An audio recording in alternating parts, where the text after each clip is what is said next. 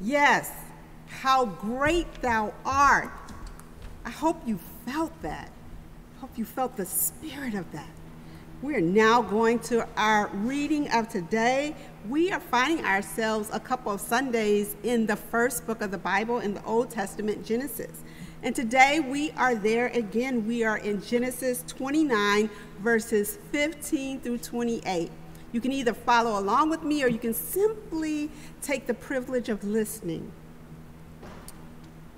When Laban said to Jacob, Because you are my kinsman, should you therefore serve me for nothing? Tell me, what shall your wages be? Now Laban had two daughters. The name of the elder was Leah, and the name of the younger was Rachel. Leah's eyes were lovely, and Rachel was graceful and beautiful. Jacob loved Rachel so he said, I will serve you for seven years for your younger daughter, Rachel. Laban said, It is better that I give her to you than that I should give her to any other man. Stay with me. So Jacob served seven years for Rachel, and they seemed to him but a few days because of the love he had for her. Then Jacob said to Laban, Give me my wife that I may go into her, for my time is completed. So Laban gathered together all the people of the place and made a feast. But in the evening he took his daughter Leah and brought her to Jacob. And he went into her.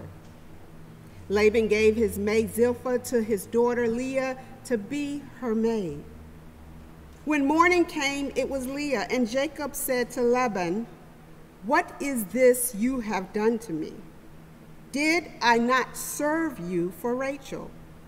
Why then have you deceived me?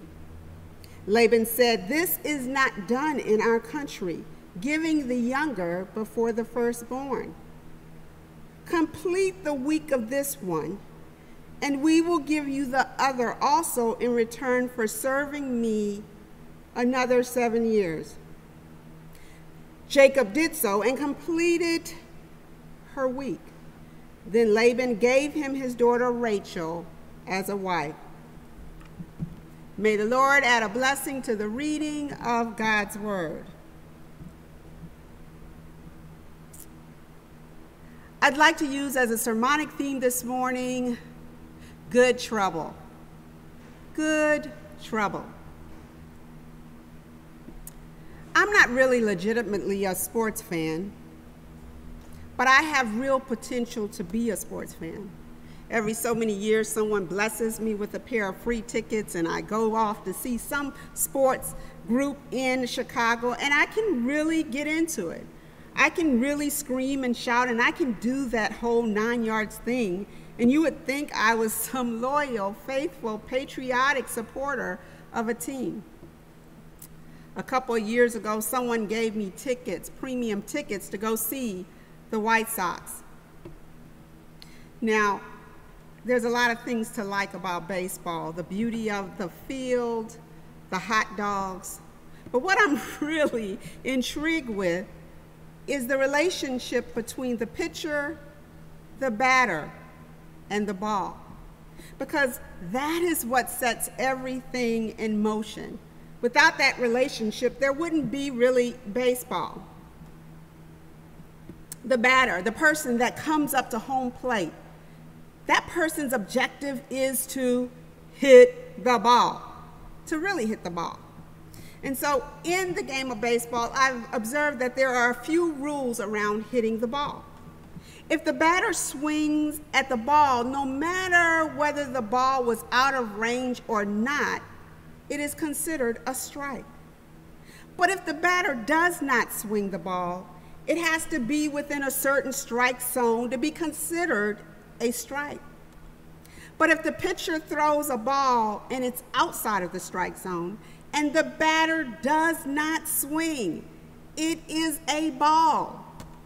If the pitcher pitches four balls, he can actually walk a batter to first base. And so it's pivotal that the batter knows when to swing as well as when not to swing. And herein lies what I want to talk a little bit with you all today about knowing when to swing. Let me first say, I think that we have a swinging problem in America. I'm trying to resist talking about number 45, but he's, he's such a good example of humans who swing regardless of what kind of ball is thrown, they just swing. His predisposition is to swing, but he's really not alone. You all don't get off that easily this morning. Sometimes when we are under pressure and we feel stressed out, we are more prone to swing. Now, let me raise my hand. That has happened to me a few times. When people are afraid, when people are feeling like they've got their backs really pressured, people are more apt to swing. Police officers with their stressful jobs and maybe even a few stereotypes and a faulty system on the streets swing. And some of us looking over our shoulders and around the corner who live in a hyper vigilant world often just swing because we want to beat others before they swing on us. Kids are growing up not knowing how to resolve conflict and swinging with real guns. And just this past week, a, gang, a gang drove by a funeral. Actually, two funerals were happening, and just let it rip swinging. And after they had swung, 14 more people were dead. When people say things to us sometimes, sometimes instead of pausing and praying, we just swing back. We're out here swinging, not even paying attention to the ball. And sometimes we not only harm others, but we harm ourselves. We swing our bigotry around. We swing our fear around. We swing our words around. We swing our pain around. We swing our guns around. We swing our titles around. We swing our power around.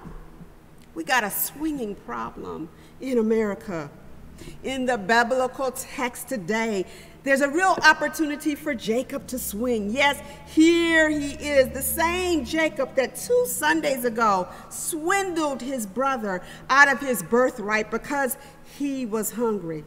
And since then, he swindled him out of the blessing that the father was supposed to give to the oldest son. And so his dad instructs him, Jacob, you got to go. Are upsetting the family dynamics. His brother is upset. His dad is now deceased, and his mama can't protect him. Go find your uncle Laban and let him give you one of his daughters, but you got to get up out of here. And so Jacob takes off. He finds his uncle, but before he even sees his uncle, he sees sunshine on a rainy day diva, and he can't stop looking at her.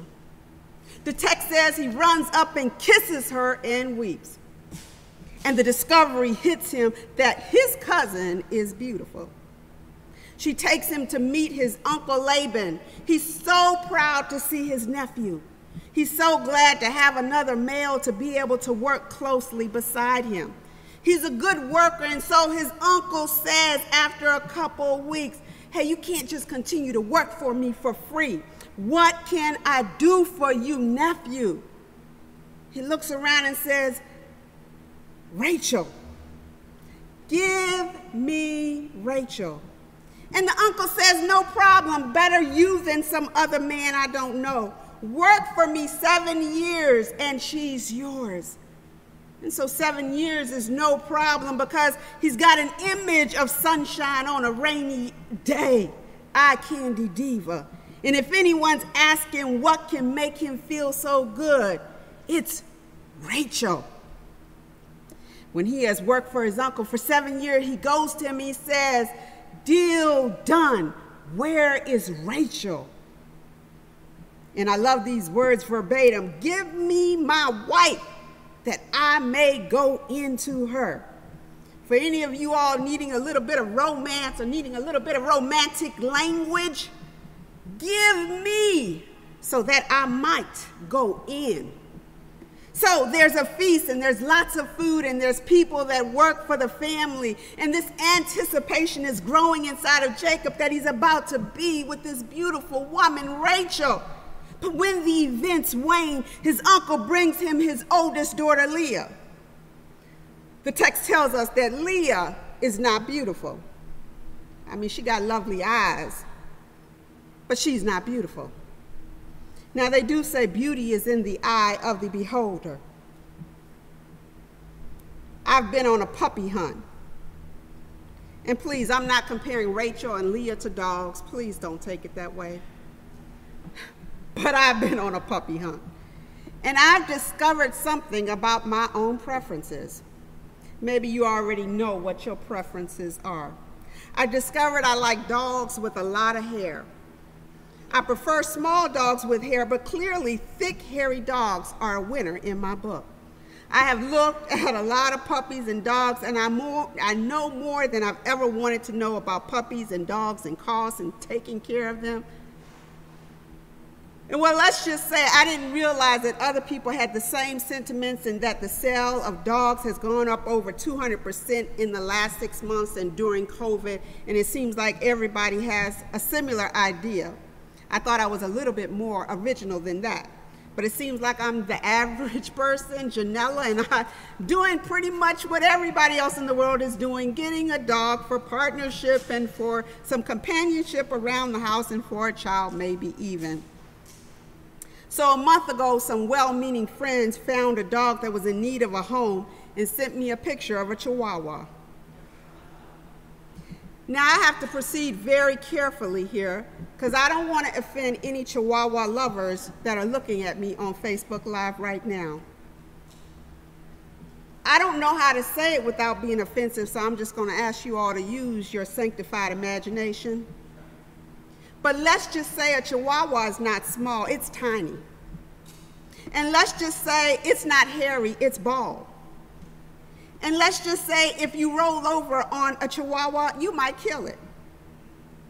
And let's just say when you look at this dog, when I looked at this dog that they had sent me with their well meaning hearts, I had two thoughts, and one of them I can't express right now. But the second was, how am I going to get myself out of this situation? I did say yes with my mouth, but I was still thinking, how am I going to get myself out of this situation? Well, thank the Jesus, God was looking down on me. I noticed that there are a lot of people that love Chihuahuas, and my friend is one of them, and my son loves Deerfield, and it's great to go visit the Chihuahua. So I've learned a lot about myself, and I've learned a lot about my preferences, and it appears after two months of looking, I've come clearly down to a few dogs that I really, really like.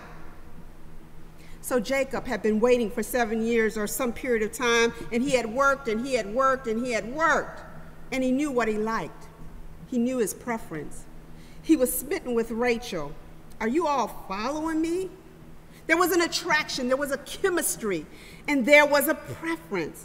Now, come on, some of y'all like short, some of you like tall, some of you like wide, some of you like thin. Come on. We have preferences. It's just like spaghetti sauce. Some like it sweet, some like it spicy, some like it thick, some like it chunky. We have preferences and we know what we want. And there's nothing wrong with Leah and her lovely eyes. But Rachel was it for Jacob. She was the picture he had been carrying in his mind for seven years. And so after the party, when daddy brings Leah was the opportune time to swing. Jacob had been swindled, and some might say it was karma, but nonetheless, he had to deal with a, Uncle Laban. Jacob got played. Many of us know what that feeling is like and realize when you've been swindled. And so, what should he do? Should he swing? Maybe it'd give him a little bit peace of mind, but it wouldn't give him Rachel. This is daytime and nighttime drama rolled up into one, the progeny of Abraham. And so now Jacob has a choice. He has already worked seven years for Rachel and he got himself Leah. And at this point, he can't walk away, or he could walk away, but then he'd have Leah and he wouldn't have Rachel. He can take Leah and go on about his business. He can fight for Rachel and lose. He can swing. And now that's the time to ponder, to hold in suspense. Now, what would Jesus do? But we already know what Jesus would do. What is Jacob to do? And it's right here. I can hear Kenny Rogers' famous lyrics. You got to know when to hold them, know when to fold them, know when to walk away, and know when to run. And that's the thing, not all of us know. See, because too many of us are swinging when maybe we should fold them, maybe we should hold them, maybe we should run away. Swinging sometimes is not the best move, it's not the best tactic. So, what is, what is Jacob going to do? What is Jacob going to do? Jacob has just gotten beaten at his own game. The game he played so often on his brother Esau now is the game that's got played on him. So the trickster gets tricked. But Jacob still had a vision, and we talked about that two weeks ago how Jacob, no matter how bad he was, he had a vision, and he could always keep his vision within periphery. So no matter how much he got distracted, no matter how many curveballs were thrown at him, he knew not to swing because he knew what he wanted. And so Jacob, this guy that's already worked seven years for Leah, now works seven years more. He doesn't get distracted. He doesn't swing. The uncle does not honor his words, and because the uncle does not honor his words, three people are impacted Leah, Rachel, and Jacob. Everything we do in life impacts somebody else. That's why you should wear your mask, because it ain't just about you. That's why you should socially distance, because it ain't just about you. That's why you should wash your hands, because it ain't just about you. So, anyway, Jacob decides to work for seven more years. The uncle pulls a move that in Chicago might have gotten him killed, and we know what it, that is serious business over here in Chicago.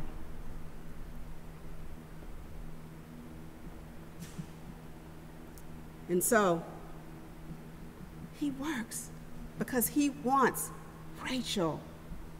Our desires for justice and mercy and grace have to run as deep as Jacob's desires for Rachel. So, what is the real meaning of the message today? Is the message don't swing? No, not exactly.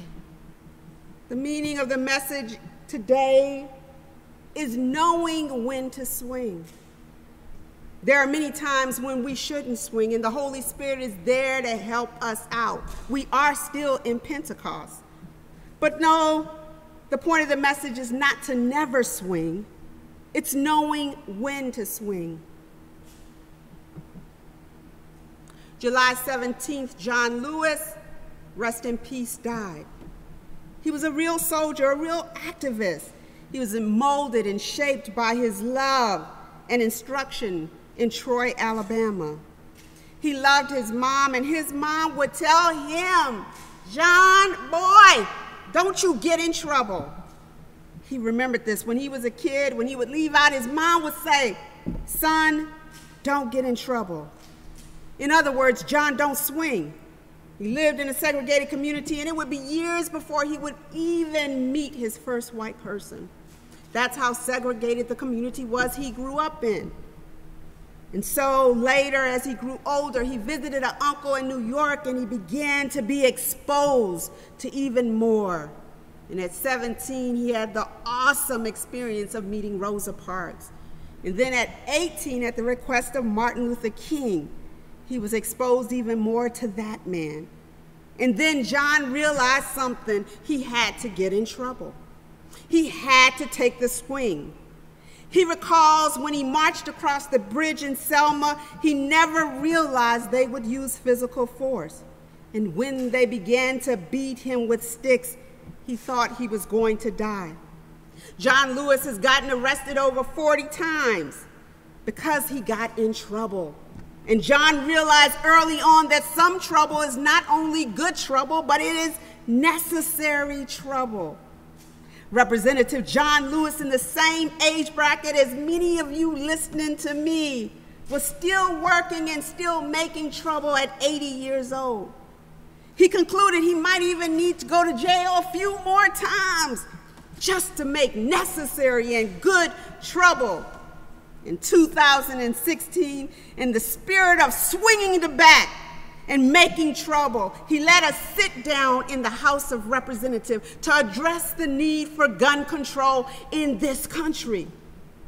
They were looking for votes to expand background checks and ban gun sale usage and people flying under a no fly watch list. But the NRA is powerful in this country, and even with the sit down, the vote didn't pass.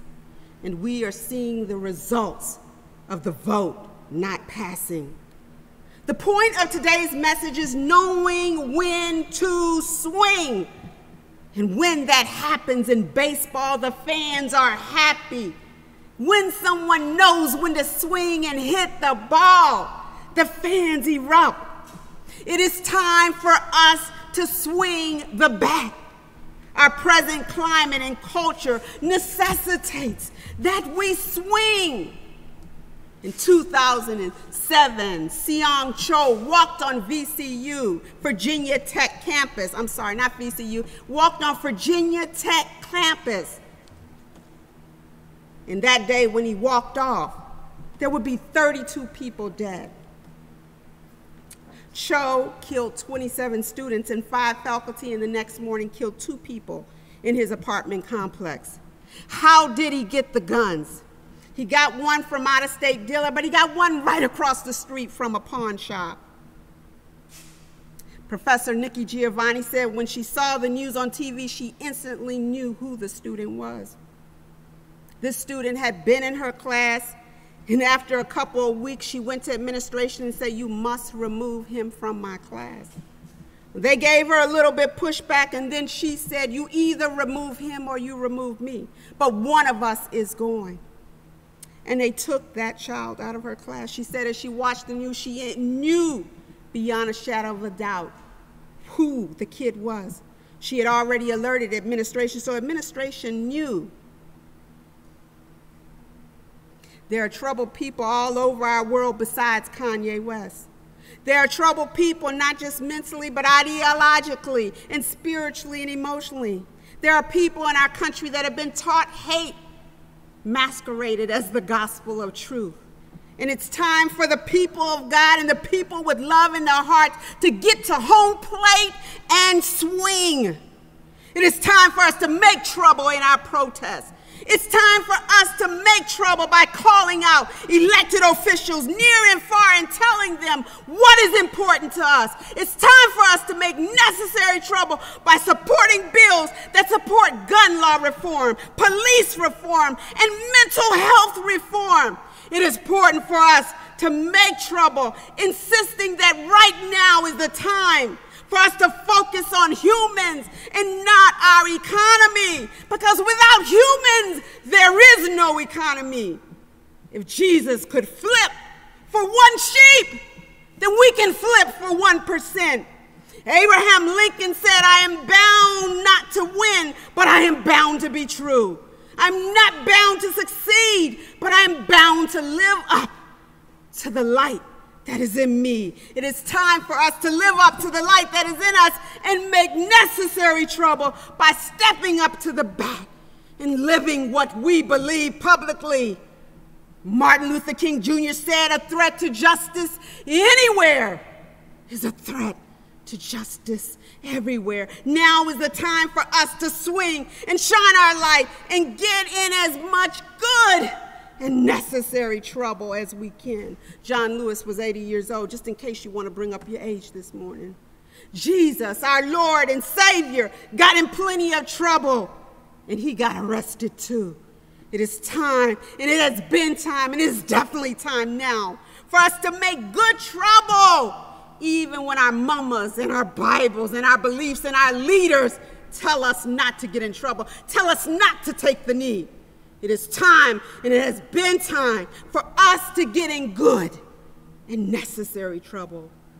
It's time for us to get so disturbed by the killings in Chicago, by what is happening in our country, that we can no longer be polite and nice and cordial and sit in our comfortable homes or sit on the sidelines It is time for us to make necessary trouble. It is time for us to swing. Amen.